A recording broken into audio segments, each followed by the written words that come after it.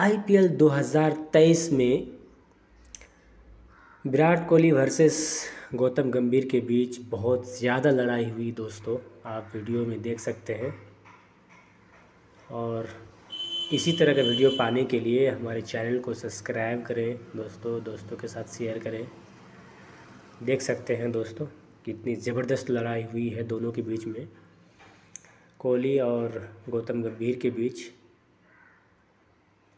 और चैनल को सपोर्ट कीजिए दोस्तों, सब्सक्राइब करके। ज़बरदस्त लड़ाई है दोस्तों, एकदम जितनी लड़ाई होनी चाहिए थी उतनी लड़ाई हुई है दोस्तों, देख सकते हैं।